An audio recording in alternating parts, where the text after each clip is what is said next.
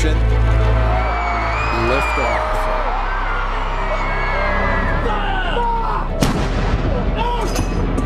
If you don't represent women in politics,